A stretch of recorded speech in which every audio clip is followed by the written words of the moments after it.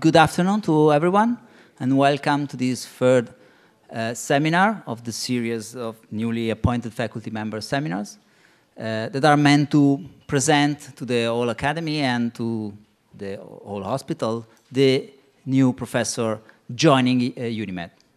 Um, and the seminar will also be filmed, so people that cannot be here and this time we have a lot of students because I had the lesson with them the first year, so that's one of the reasons. But for those who cannot be here, they could see the seminar, will be able to see the seminar on the website.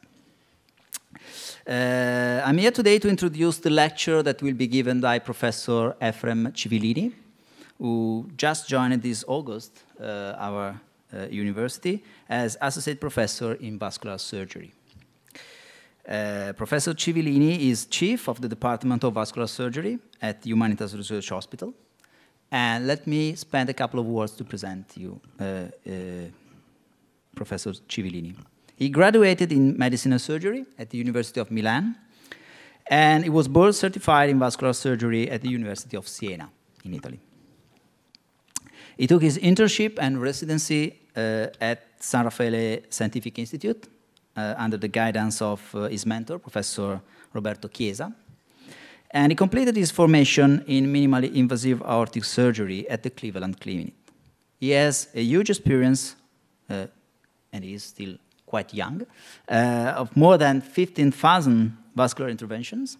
I, I, don't know if I'm up to date, but it's a huge number in any way, huge, huge number. And his research interests have focused on aortic surgery and minimally invasive vascular therapies. He co-authored practice guidelines in the treatment of patients with cardiovascular diseases and has played a role in industry-sponsored clinical trials assessing the performance of new expandable stents used to treat thor thoracic aorta disease. And he is author of more than 60 full papers in peer-reviewed journals. This time we have a large fraction of the audience that is composed by first-year medical students, so I am sure that this lecture will be inspiring to them for their future career, and maybe some of them will decide to become vascular surgeon. This is your responsibility today, Efrem. And yeah, and so I'm really pleased to invite Professor Civilini to the stage to give his lecture that is entitled, as you can see, Me, Myself, and Vascular Surgery. Thank you. Cool. Thank you. Thank you, Stefano, for your very nice uh, introduction and uh, dear professor, colleagues, students, and friends, thank you for coming today.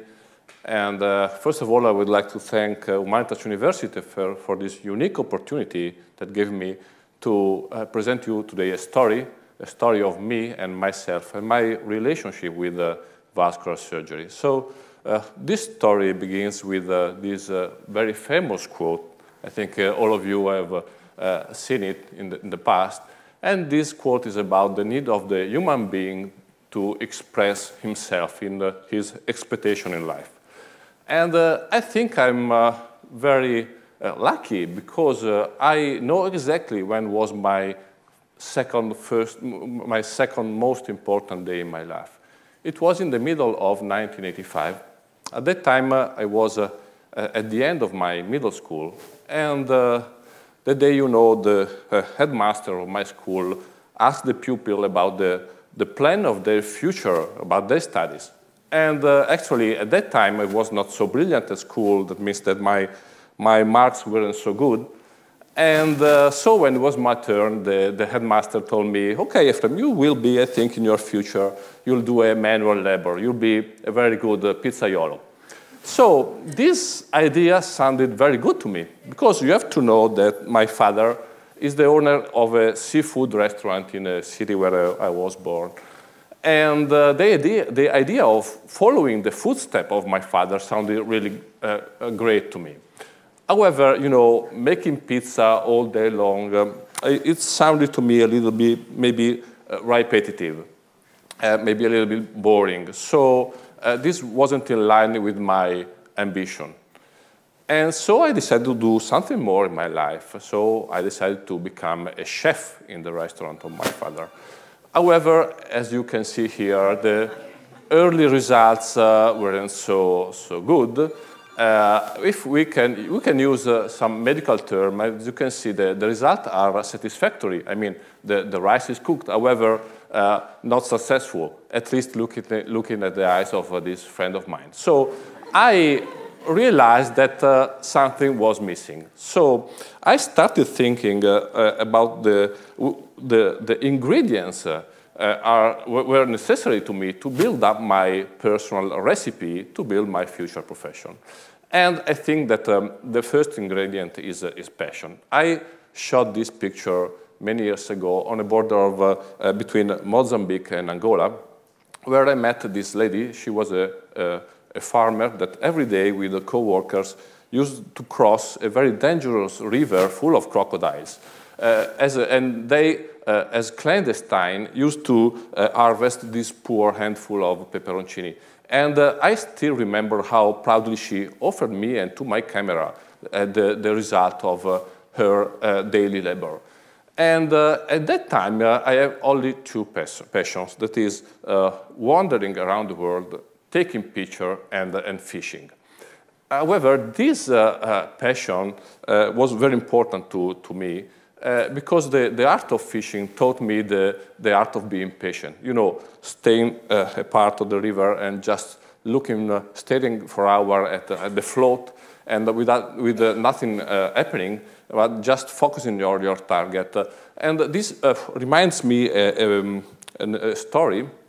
And in the last year, I used to attend some classes of, I, I, I attended some classes of Kung Fu. And uh, one day, uh, uh, a friend of mine, uh, a pupil of these classes, uh, went to the, the master uh, asking him, so master, I I'm really enjoy practicing Kung Fu, and uh, so, but I, I like to have this black belt, but how long does it take to achieve this, uh, uh, this black belt? And the master answered him, well, if you are good enough, if you practice a lot, it will, be, it will take you more or less 10 years.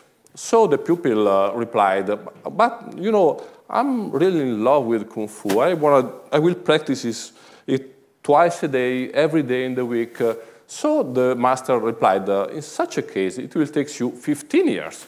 That's what I mean for having patience. So focus, focusing uh, on your target and working hard every day. And indeed, the results will will come, as you can see here, with, uh, with great satisfaction. So, so far we have uh, uh, three ingredients, ambition, passion, and patience. However, the art of, of fishing taught me a, lot of other things. For instance, the ability to build very uh, small and complex things like this, uh, for instance, artificial fly. However, if you remember, I am also ambitious. So I started from, uh, building from this very tiny uh, object. Uh, I started fixing, for instance, my, my bikes. Uh, at, I was a child at that time. And then my personal motorbikes, then its engine. And this ended up with building my personal car. Okay, it's not, as you can see here, it's not so luxurious. However, I'm proud of, I'm proud of it because this is the result of three not working cars mixed together. And, um, and you, you, can see here. But the, the theme here is uh, how can somebody learn to build uh, his own car? Well, I'm not a genius, I'm not a self-educated man, but maybe I'm a good student. So uh, they say that uh, when the student is ready, the teacher will appear, but who is the teacher here? I will say that everybody can uh, teach us something. That means that we can learn something from uh, anybody. However, I will start uh, from the person that cares about us. This is uh, my father. And these are the words that Steve Jobs dedicated to, to, to, his father. And I think that uh, these two guys have in common that they both uh, love doing things right. That means that you can be sure that this is the, the, restaurant, the restaurant of my father you can be sure that uh, the apple that lies uh, at the bottom of this, this plate is uh, as fresh, as good uh, as the, the one that is on the top. So thank you, Father. And uh, another point I'd like to discuss with you today is the art of being empathic with, uh, with others and to develop our practice of guiding them. I am aware the kitchen is closed. Maybe a cold dish, whatever you can find. Mm, well, everything's delicious here. Take your pick. What do you have that's like? Uh, let's see. I have a steak. A big, heavy slab of meat swimming in fat, served with some greasy breaded liver and a side of kidney pie. Or maybe fish. Fish, fish. Very well. We have some nice, fatty halibut. Or some mackerel, marinated in Grand Marnier and stuffed with blood sausage. Or a fresh salmon, or a... Oh, salmon would be good, thanks. With that comes, uh... And a side dish too? Oh, let me tell you. There's uh, mushrooms very, very, very fried, or buttered potatoes braised and served with buttercream dipping sauce, or perhaps... Do you have a small light salad with a vinaigrette dressing? If not, nothing. A small salad for you. What a pity, because the very, very fried mushrooms were out of... Well, the art of guiding people is very important, especially if you are, if you are a doctor. Uh, today, it's not infrequent that uh, if you go to the doctor as a patient, saying him, uh, okay, I have, I have this disease, what can I do? And uh, the answer usually uh, is, uh, okay, for your disease today, we have two kind of treatments. Treatment A with these pro and cons, and treatment B with these other pro and cons, which is your choice. So in this scenario, uh, the, the, the, actor that, is, that maybe knows everything about your disease doesn't take a decision.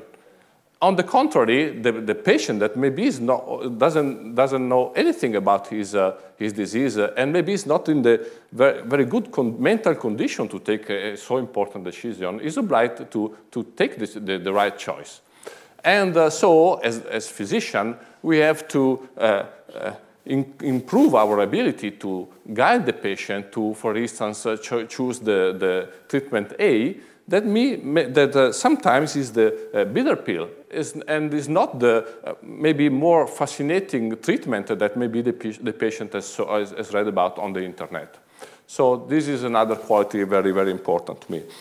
And um, another quality is uh, the uh, ability of use our senses. I still remember in, uh, in the past when uh, I used to go with my father to the fish market. And over there, I, I learned with him, he taught me how to inspect the patient, the, sorry, the, the, the fishes, inspect the fishes, you know, the smell, the color of the, of the gills, the aspect of the eye. And this uh, uh, a practice recall me another practice that is uh, uh, examine the patient. So today, you know, we have a lot of uh, scan tests, a lot of uh, lab tests, uh, that, and uh, indeed they are very helpful for us to, to make a very exact diagnosis. However, I think that we, examining the patient is still more important. So my message here is to touch him, visiting him, examining him, uncover him, uh, and uh, this is very helpful for uh, in, in, our, in, in, our treatment, in our, in our daily treatment. and it's a kind of ritual that the patient will expect from, from us. So the, the, the, further point is that if you, of course, plan to do a manual job, you have to improve and work on, on your manual dexterity. You do a little bit of fishing, Watch what I do right now. You take this knife and start it between the skin and the meat, and that poor fish will jump out of its skin. Look at this. Look at this. Now watch. I could even take the meat right off the skin. I had to buy that knife. and I did it. However, soon I realized that the difference is not made by, made by, the, by the knife, is the, by, made by the the hand that handles the knife. So, and this guy is just a very good salesman. So how can we, we improve our dexterity? This is the answer. I think all of you, all of you knows about it. No question. Yeah, but right. I... Wax on, right hand.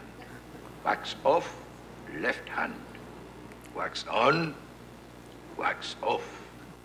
Practice, practice, practice over and over every day. This is, uh, uh, of course, the, the answer to uh, improve our dexterity if you, of course, if you plan to do a manual job. The last point I would like to uh, talk you to, with you today is the exploration of the world. This uh, uh, author, that is the uh, author of a very famous book, that is The Little Prince, uh, taught us in another book uh, how it's important to explore the, the, the earth uh, because the, the, just exploring the earth, we, we learn a lot of things. And, and we, we learn something when we face an obstacle. However, to face and overcome the obstacle that we, uh, that we meet when we explore the world uh, is uh, uh we need a, a, tool. For instance, the carpenter's plane or the plow for the farmer. And uh, uh, in my, in my the tool that I used in my exploration, of course, was my, my camera. However, I think that our journey should not be made only in the in the world to face obstacles, but uh, uh, and, and uh, to face uh, and to to meet the, the solutions. But also we have to make the journey in our past and what we learned when we were a child. And uh, for instance, uh, just imagine cutting a sheet of paper or assembling or disassembling plastic bricks. And uh, of course, the engine of all of this exploration uh, is, the, is our curiosity. And I think that, uh, like a child, you have to, to find every day a new uh, adventure, new problems, and of course, new solution. And this is an, an, this is an, a, this is an example. Uh, a few years ago, my chief asked me to, to draw a, a, a scheme of an aortic dissection. Actually, it took me a few second, seconds to take a sheet of paper and drawing, and drawing this very simple scheme. But however, as you see here, is uh, adequate, adequate.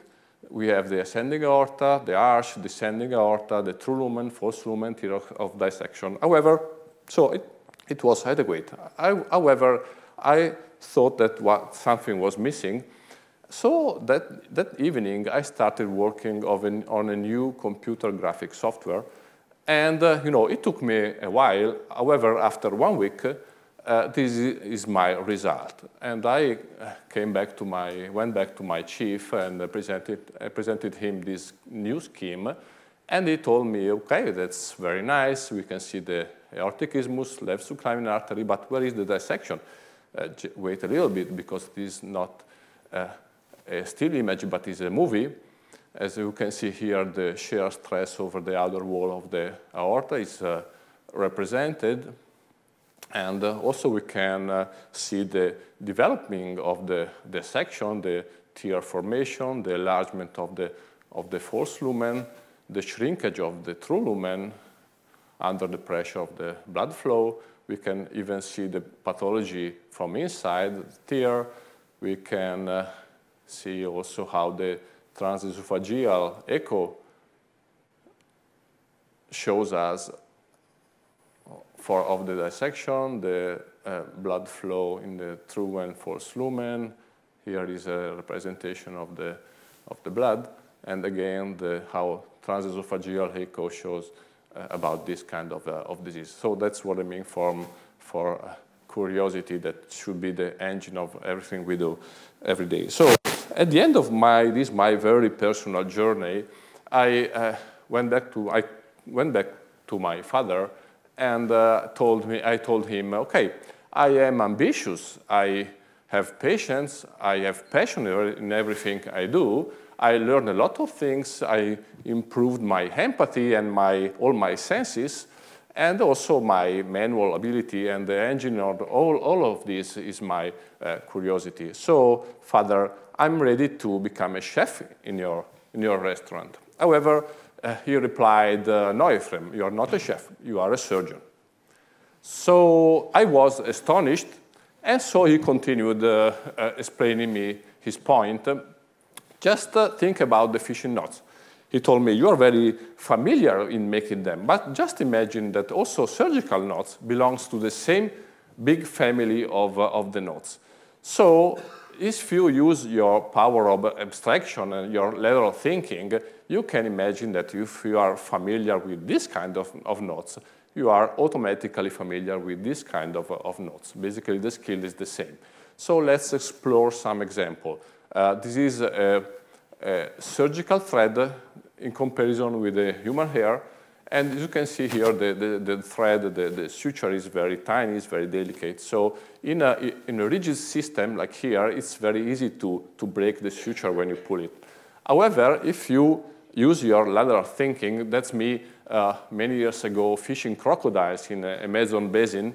And uh, it's, okay, it's not so easy to see it, but this is the, a very tiny nylon line that doesn't break. It doesn't break just because we, can, we use a fishing rod. And the tip of the fishing rod gives elasticity to the system. And this, this prevents the, uh, the fracture of the, of the line. And so using, using lateral thinking, uh, let's see some example. On the left, uh, you see the rigid system, the, the, the, thread doesn't break. However, on the right, if you use your fingertip as a, a tip of, the, of a fishing rod, you can pull the suture as much as you want and uh, it doesn't break. Another example, uh, using this kind of self-retractor can be very useful, useful either for the patient and, the, and for the surgeon. However, sometimes assembling it can be very, very tricky. And uh, so lateral thinking just remind when you how was easily easy to to change a tire of my you know luxurious car, and uh, using that skill, uh, also assembling this kind of self-retractor can be very handy. So uh, here we come to vascular surgery at the end. And, uh, you know, uh, the vascular diseases can be very simple in a certain view, and because we are, every day we, are, we, deals, we deal with damaged pipes, and uh, they either dilate, forming, forming the so-called aneurysm, like this thoracoabdominal aneurysm. On the contrary, they can narrow, like this atherosclerotic occlusion of the right iliac axis. So what fascinated me, however, in uh, doing this kind of prof profession uh, is that we are, basically, we are called to, to treat the patient from the base of the skull to the tip of the toe, so wherever there are vessels. And uh, sometimes it's very, of course, complex to repair them. However, uh, if you uh, learn how to use your lateral thinking, sometimes it, bec it becomes much, much easier. Let me show you some clinical example. This is a carotid bifurcation. Uh, this is the uh, carotid plaque at the level of the bifurcation. This is the internal carotid artery. Of course, uh, the goal here in this surgery is to remove this plaque because as you can imagine, the presence of this atheroma here may uh, cause, uh, may lead to a, thrombotic uh, stroke of the patient. So we have to remove this, uh, this plaque. However, uh, as you can see here, during the procedure, the internal carotid artery is occluded. So how can be we sure that the, uh, the cerebral circulation is adequate during, during this, this procedure? My answer is local anesthesia. This is what I, was, what I mastered in the last, uh, in the last year. That means that uh, throughout all the procedure, the, the patient is awakened, and we can ask him a very simple question or ask him to open and close the contralateral uh, hand just to be sure that everything is, going, is doing well at, uh, at the level of the cerebral circulation. Uh, another, another, topic uh, is the critical limb ischemia. That means that uh, we can have a uh, an interruption of the blood flow to the, to the leg, for instance, in, the, in, in, this case, either in a chronic or acute setting. This is an acute ischemia of the, of the leg. Uh, what we are called to do is, is to overcome the obstruction. And uh, uh we use a, a peripheral bypass surgery and is, here we are below the knee, here we are uh, at the groin. And the best conduit to be used to do this kind of surgery is the greater saphenous vein, that is this one. This is the harvesting of the vein, and this is the running, the inflow vessel, that is, that is the uh, femoral bifurcation. As you can see here, the plaque is removed, and uh, to achieve a very good uh, inflow, then the greater saphenous vein is attached to the femoral artery. This is the target vessel, a tibial artery. And this is the instrument that we use to, to cut the valves of the greater saphenous vein that is here. Uh, that means there are four very uh, small blades that cut the valves, uh, withdrawing the, the, this instrument, as you can see here. And then, as a last uh, step, the greater saphenous vein is attached to the vessel And you can see here the pulsatile flow into the runoff vessel. And this is the angio that shows the good patency of the bypass and good restoration of flow be, be, be, uh, below the knee. Um, and this is the result. Actually, with this kind of, uh, of surgery, we can uh, change radically the natural history of this ischemic foot. And you see that day zero, we have, we have a large ischemic ulcer of the foot. And after one and three months, complete healing of the, of the ulcer. On the other on the other uh, side, we have a dilatative uh, pathology. This is a, an abdominal, infrarenal abdominal aneurysm. This is the normal aorta. The, the, the head is on the left, the, the, legs are on the right, and these are the two iliac artery. And uh, the standard treatment for this kind, for such a pathology is uh, uh, general anesthesia, uh, a very long cut of the belly, uh, a, a, a, clamping of the aorta at the level of the two renal arteries that uh, there are these two arteries, you know, under these vessel loops, and then um, the substitution of the uh, damaged vessel with a Dacron graft, with a synthetic graft, and then rehab the patient. Uh, however, what we, what I found here in Humanitas, and we are trying to improve, is a, a very a new protocol of, uh, uh, for enhanced recovery after surgery of this patient. This is a traditional patient in his first postoperative day. As you see here, he is uh, still in bed with lots of tubes, monitors, and so on.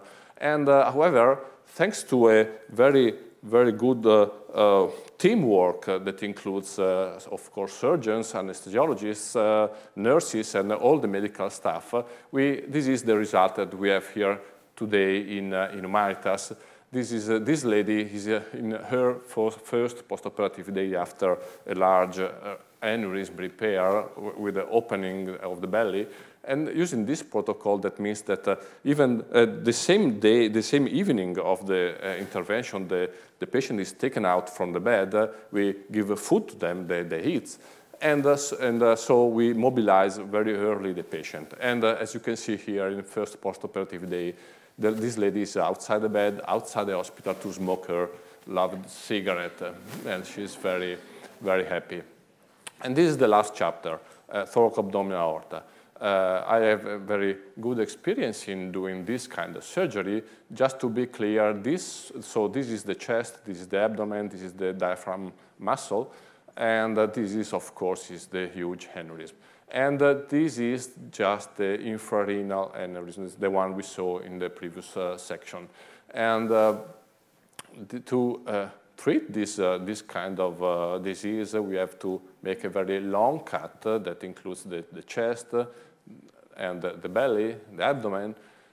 This is the costal margin that is cut, and this is the, the diaphragm that is cut as well with a limited, limited and circumferential phrenotomy. That means to uh, this limited phrenotomy is meant to uh, spare the, the, the, central part of the, uh, of the diaphragm to prevent uh, uh, the, the uh, phrenic palsy in the perioperative time.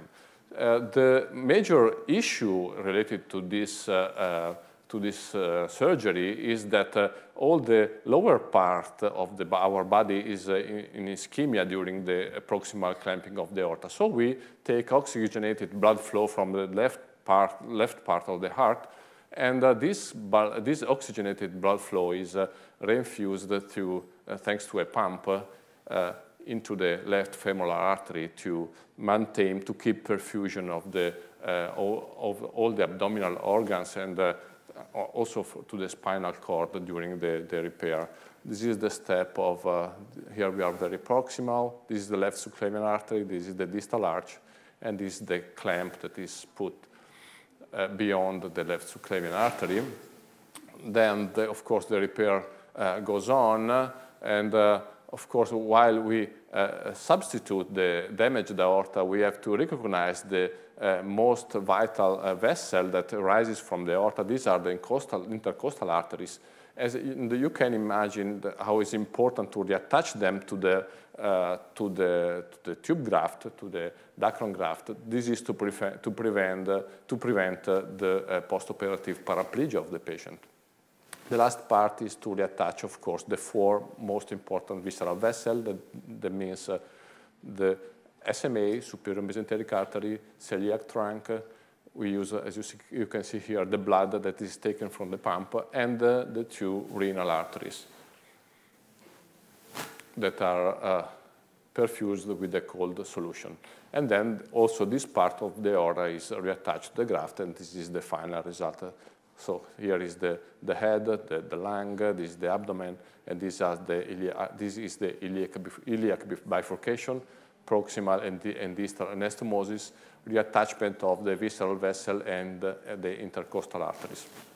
So my goals and uh, I would say ambition here is uh, to start a, a, a, program to start this kind of surgery. So I'd like to to team uh, to to build a team dedicated to this kind of, uh, of surgery and uh, who knows, in uh, my ambition, of course, in the future to become a referral center for this kind of a disease uh, and including also the Marfan patients.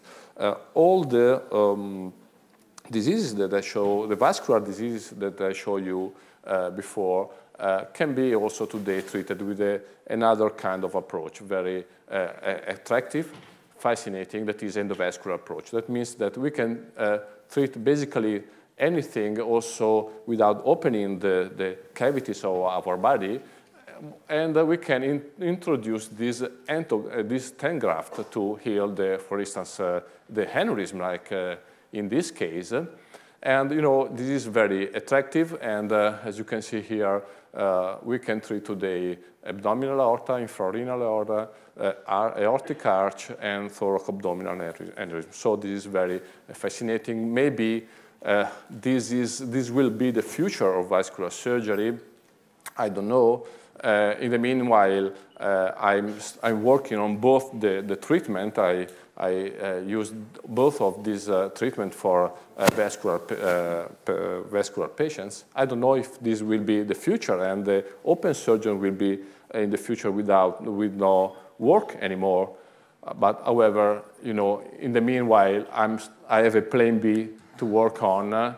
and uh, let me thank uh, you for coming. Let me thank my, my very uh, precious team that received me very, in a very lovely way a few months ago, and of course, my family. And thank you.